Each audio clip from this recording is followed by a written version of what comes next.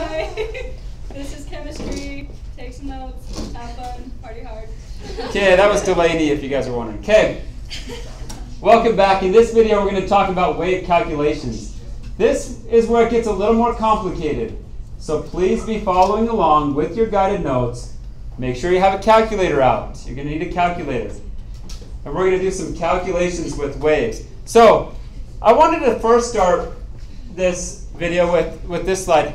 How fast does light travel, guys? Light travels really fast. In fact, there's nothing that goes faster than light. We call it the speed of light, right? So, all light, doesn't matter what color it is, all light travels at the same speed, and it's called the speed of light. Right, Josh? Yeah.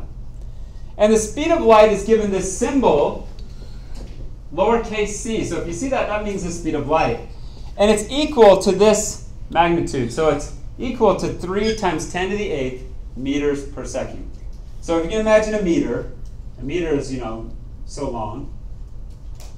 And it's going 3 times 10 to the 8th. What is that, guys? 3.0 times 10 to the 8th. Well, let's see if we got enough zeros here. 1, 2, 3, 4, 5, 6, 7, 8. So if the decimal is right there, then this becomes thousands. Um, 1, 2, 3 more. That's 300 million meters in one second. 300 million of those. So it's obviously very fast speed. Um, and all light, doesn't matter what color it is, travels at that speed. Okay, so here's an equation that we're going to use today. C, what does C mean, guys? Speed of light is equal to, what is this symbol right here? What's it called? Wavelength. What's the name of the symbol though? Lambda. And times, what does V stand for? Frequency. So wavelength times frequency is equal to the speed of light. Guys, will you always have what C equals? 3 times 10 to the 8th meters per second. So we're going to do some calculations with waves today to figure out the wavelength, the frequency, and the speed. Okay. Oh, why are we talking about waves again, guys? Why are we talking about waves? Because light travels through the air as a wave. And why are we talking about it in this chapter? Because electrons Because electrons are what emit light. Good. So we've got to learn about waves. That's why we're doing this. Because electrons produce light and light travels through the air as a wave. Okay, wave calculations. We're, we're going to learn how to calculate the wavelength, frequency, and energy of waves. We're going to use these equations. I think you have to write them down, right? Yeah. So take a second and fill out the wave equations, 1, 2, and 3. And I would also like you to write down these constants. C is a constant. The speed of light is constant. It's 3 times 10 to the 8th meters per second. And H is another constant. We'll talk about it in a second, but also write those down.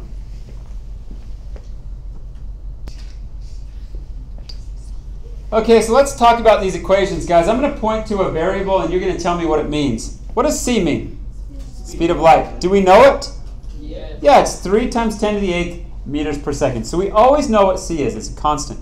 What is this symbol? wave frequency. Lambda, and it means wavelength. What is this one? Frequency. Frequency. What is E? Energy is equal to H. Now, H is a new one. It's called Planck's constant. It's equal to this huge number down here. Well, it's actually a really small number.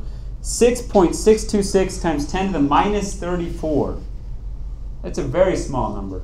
Okay? So energy of a wave is equal to Planck's constant times what? Frequency. So if we know the frequency of a wave, can we determine its energy? Yeah, we just times it by Planck's constant. Okay, number three. What is this, guys? Energy is equal to Planck's constant times speed of light divided by wavelength, right? Yeah. Okay, we've got to know those three equations. I will always give them to you. I don't expect you to memorize them, But what I do expect is that you're able to use them to determine either the wavelength, the frequency, or the energy of waves. Okay, let me show you how this works. As frequency goes up, if this number got bigger, what would happen to the energy? Yeah, if you times by a larger number, don't you get a bigger energy? See that, guys? Mathematically, you see how that works? If this number gets smaller, what's going to happen to energy? It gets smaller. So as frequency goes down, energy does also. That's a direct relationship. Now, because we're dividing by wavelength here, as you divide by a larger number, so if the wave has a longer wavelength, what's going to happen to energy? If you divide by a larger number, it gets smaller. Okay, do you see how that works? What if the wavelength got smaller? What if you divide now by a smaller number? Energy is going to get bigger there. Okay. So a little bit about uh, those equations. We're going to use them.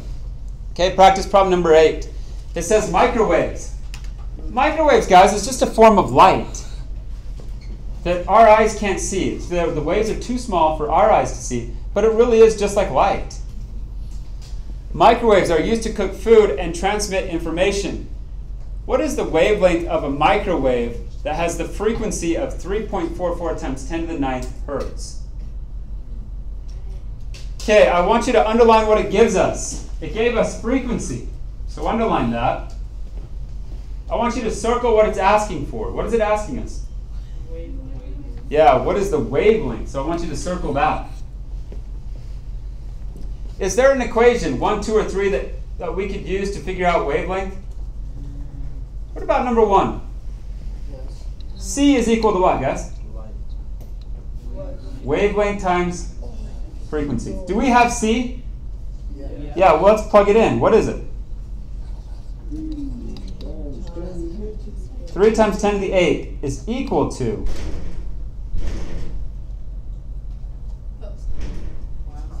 Okay, is equal to lambda. What's. Do we know wavelength? I don't know what that is. Do we know wavelength? No. Call it x, call it whatever you want. I'm going to keep it as lambda because that means wavelength. Times, what's the frequency? Yeah, I gave it to us. 3.44. Can I put e? Do you guys know what that means? e to the ninth hertz. Okay. So if you were going to use your algebra skills here, how would you get lambda by itself? Divide by 3.44 e to the ninth. But if you do it to one side, do you have to do it to the other side? Yes, it's what an equation means. This equals means whatever you do to one side, you got to do to the other side. It's equal. So 3.44 e to the ninth comes down here. The reason we did that, what's 3.44 e to the ninth divided by itself? It's 1. It's 1, so I can cancel it out. So lambda, guys, stay with me. Somebody do this in your calculator. 3e to the 8th divided by 3.4410. And can you do that? Uh, e to the 9th. Hurry, I need somebody to verify. it. 0.0872. Okay, thank you, Mitch. 3e to the 8th divided by 3.44 e. Do you, do you know where the big E button is? You have to hit the second function, then that x to the minus 1. Good. I'm getting this. Lambda is equal to 0.087. And what is wavelength measured in? What are the units? Length. It's measured in what? Meters. I need you to put the units as well. You will miss it if you don't put units. Brinley, did you get that? Yeah. That's what you got too? What? That's what you got too? Yeah. Good. Good. Uh, because that is right. So this is a wavelength of a microwave. Are they very big? No. No. Only eight centimeters. Okay. Oh no no. Yeah, about eight centimeters. So meters to centa. Yeah. Okay, so very small wavelength. Okay, number nine. Let's try this one.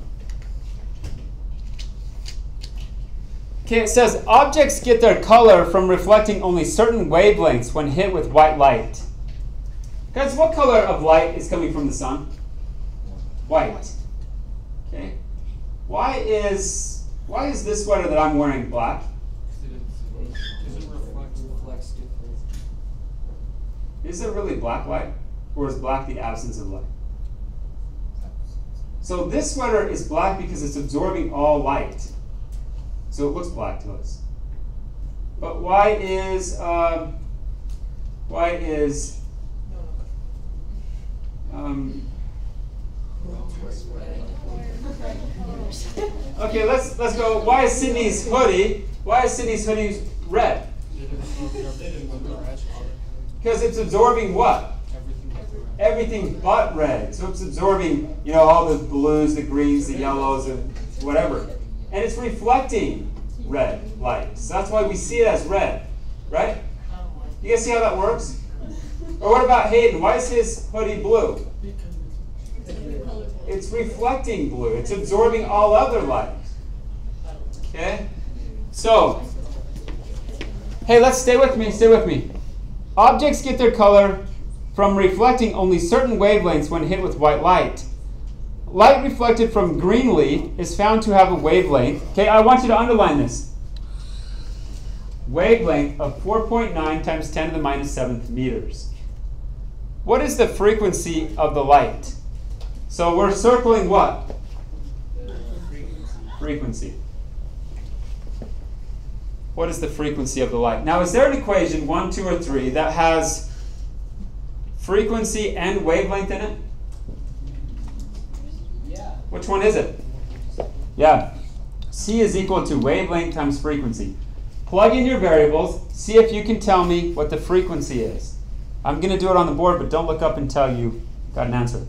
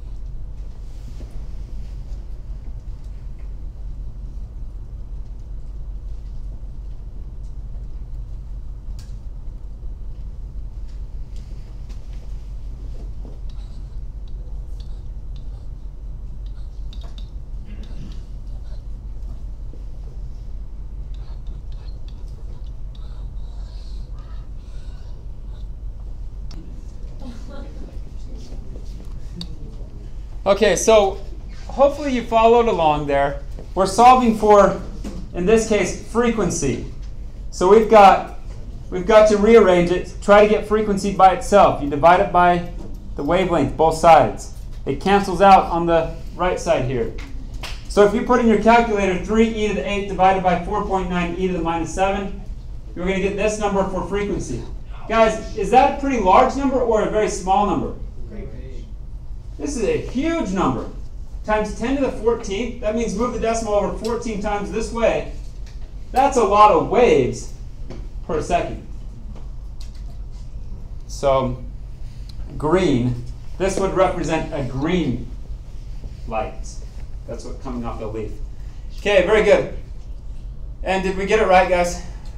Yes. Okay, practice problem number 10.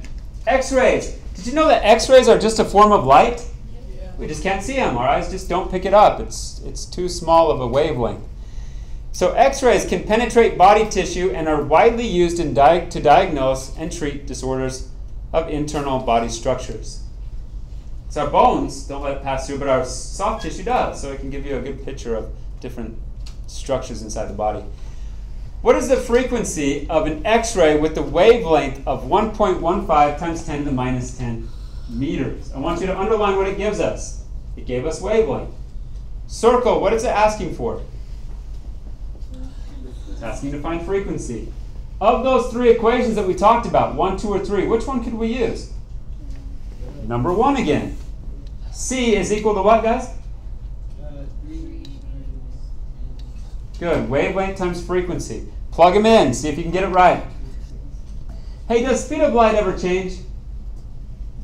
No, it's always the same. 3 e to the 8th. It gave us wavelength.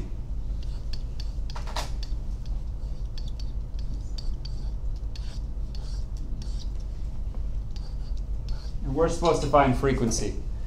Help me out. Um, let's go to Eli.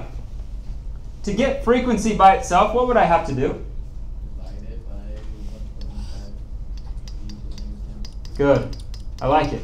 Just one side or both sides? Yeah, it's an equation. Whatever you do to one side, you got to do to the other. 1.15 e to the minus 10th. Over here, it cancels out because anything divided by itself is 1. That's exactly why we divided it by that, so we could get it to cancel out. So frequency is equal to 3 times 10 to the 8th divided by 1.15 e to the minus 10. Put that in your calculator. See if you can get the same answer I'm going to get.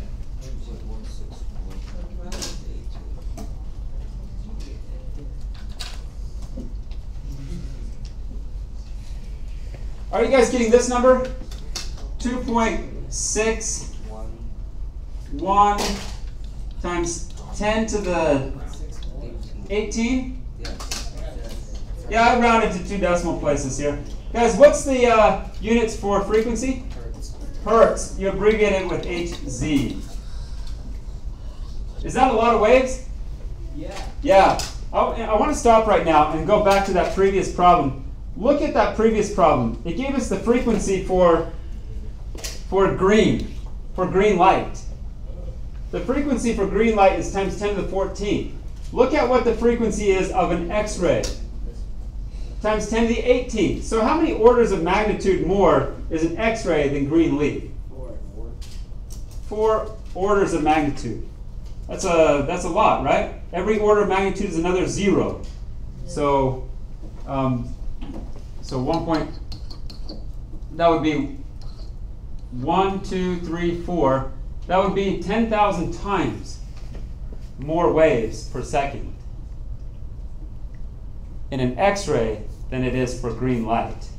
So they're very, very high frequency. So do they have more energy? Yes. Yeah, and that's why they can go through our body, and green light can't. That's why when you go to the doctor, when you break your arm, they give you an X-ray. That's why they use X-rays instead of just normal light. So what color is it? Green. What color of light is it? Well, we can't see it anyway, so what difference would it make? Well, that's that's an impossible question, I think, to, to answer because we can't see it. No, but, no, like No. no color. Oh, it's like ultraviolet. If we could see it, then we'd know. Yeah, yeah, it's one of those questions, right? Okay. But it, it, it is interesting to think about, right? If we could see it, I don't know what color it would be. Maybe it would be a new color, right? D. That'd be cool. X-rays color. I'm sure it's not going to match any color that we currently see. So, yeah, good question, but uh, we can't answer it. Did we get that one, that one right? Yes, we did. Okay. Oh, let's see if we can get through this. Okay, I've got a few more slides. Can you guys handle a few more slides? Okay, let's let's let's press on then. Okay, the particle nature of light, guys. Some interesting thing about light is uh, it's really not fully understood even today, but it acts like a wave going through the air, but it also acts as a particle, like a like a physical particle, except it doesn't have any mass. So light is still really kind of uh, it's not fully understood. So we're going to talk about the other nature of light, the particle nature, not the wave nature, but the particle. Albert Einstein proposed that in 1905 that light has a dual nature. So Einstein said light has a dual nature. Dual means two, right? A beam of light has a wave-like property, and it also has a particle-like property. So beha- light behaves like a wave and a particle. Well, when it's a particle, we call it a photon. A photon is a particle of light with no mass that carries a quantum of energy. So a photon is a particle of light with no mass and carries with it a quantum of energy, a certain amount of energy. Think about this word photon, guys. It's kind of this, the, the prefix for a lot of words. What are, what are some other words that start with photon? What about a photograph? What's a photograph, guys? It's a picture. It captures all of the light at that moment in time, right? So it's coming from photon because it's capturing light, and that's what photon is. What about a photographer? What do they do? They take pictures and capture light. So that's why they're called photographers. They capture photons. Wait, did I say it backwards, Will? Oh. Okay, Will, does that make sense? Yep. Photon, it's a particle of light. Okay. We're going to use this equation down here energy of a photon. The energy of a photon is equal to h times v. h is what again? Planck's constant. And what is v? Frequency. So if frequency goes up, what's going to happen to energy? It's going to go up. What if frequency goes down? Energy is going to go down. Okay? And Planck's constant h will always be given to you. It's that really, really small number. Um, but we'll give it to you. Okay. Energy related to wavelength with a different equation. Remember, as wavelength gets shorter, energy gets larger. Energy is related to wavelength in the following equation. Okay? So if we want to find energy and it gives us wavelength, we're going to use this equation. I'm going to point to these variables, guys, and I want you to tell me what it means. What is E? Energy. Energy. What is H? Planck's constant. What is C? Speed of light. And what's that's that means wavelength. Good job. So if it gives us wavelength, guys, if they give us wavelength, can I calculate how much energy it has? Yeah. Yeah. What if wavelength gets larger? What's going to happen to energy? It's going to get smaller. It's going to get smaller because you're dividing by a larger number, right? It's got to get smaller. Okay, practice problem number 11. I've got two more practice problems and then we're done. You guys make it? Yeah. Okay, number 11. Every object gets its color by reflecting a certain portion of incident light. The color is determined by the wavelength of the reflected photons, thus by their energy. What is the energy of a photon from a violet portion of the sun's light if it has a frequency? I want you to underline this. They're giving us frequency of 7.23 times 10 to the 14th hertz. Use this formula. E equals HV. Okay, let's set it up. E is equal to HV. What is it asking us to find, guys?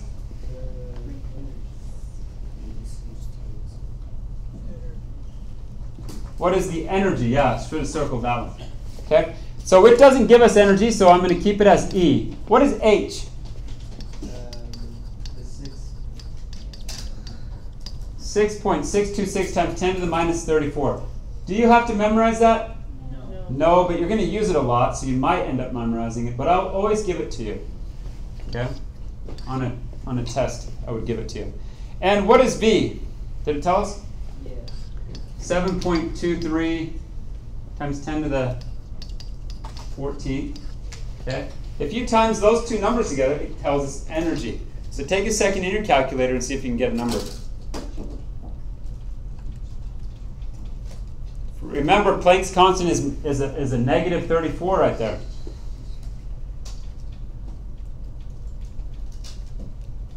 Uh, leave it on your calculator. I'm going to come around and see if you can get this.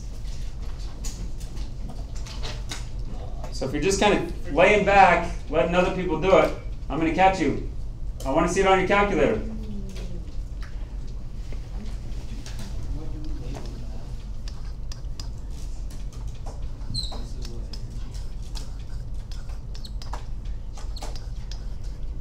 Good question, guys. when you get an answer, what's the units for energy? Joules. How do you how do you abbreviate joules? J. Capital J. Okay. Look up here, guys. How many of you guys got that it's 4.79 times 10 to the minus 19th joules? Raise your hand if you got it. Okay, good. Is this a very large or a very small number if it's minus 19? Very small. Is there very much energy in one photon of light? No, one photon's not that much. So that makes sense. Okay? I told you I'm coming around, so here I go. Okay, let's go to practice problem number 12.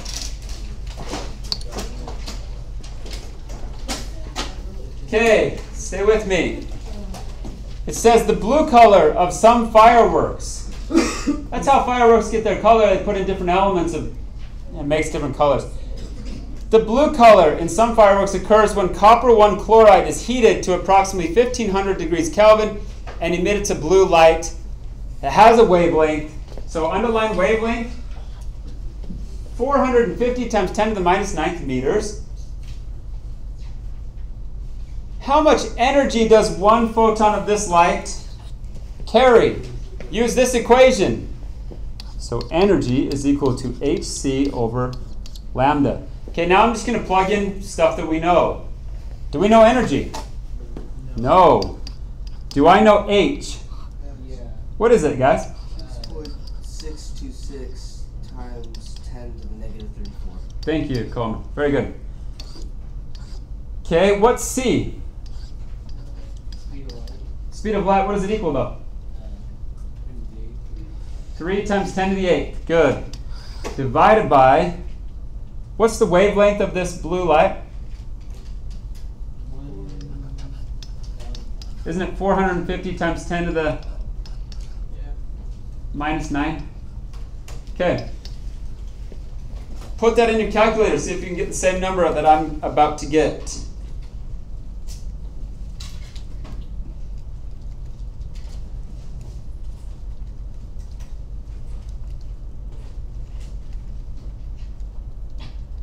Uh, be careful, it says 450, so this isn't 4.5, it's 450. e to the minus 9. Okay, are you guys getting this?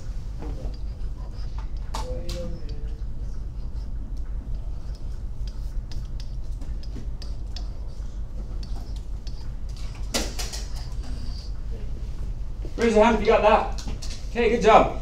Again, very much energy or very small? Very small, but it's only one photon. I wanted to go back. This was blue light times 10 to the minus 19. Also, what color was this one, the one before? Violet. Violet is also very close to that times 10 to the minus 19. So, guys, wave calculations. Can we do those? Yeah. Okay, I will always give you those equations. What does C equal? Speed of light. 3 times 10 to the 8th. What does H equal? Planck's constant, and I will always give that to you. Okay, guys, you now know enough to do a worksheet. Hold on, hold on. You now, you now know enough to do a worksheet in your student workbook. I would like you to go to, let me see what it's called. Yeah, it's called Wavelength, Frequency, and Energy of Waves Worksheet, and complete that one. Hopefully this helps.